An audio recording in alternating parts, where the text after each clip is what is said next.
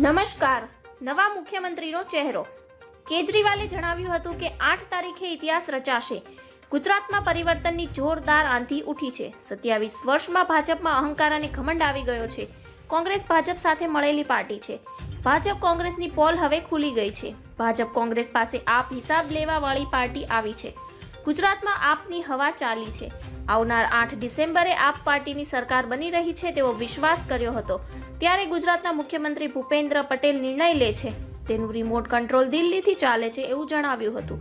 ઈશુદાન ગઢવી મુખ્યમંત્રી બનતા જ રોજગારી મુફ્ત, શિક્ષણ મુફ્ત, સારવાર, વીજળી બિલ માફ જેવી યોજના લાગુ પાડશે તેવું વચન પણ તેમણે આપ્યું હતું.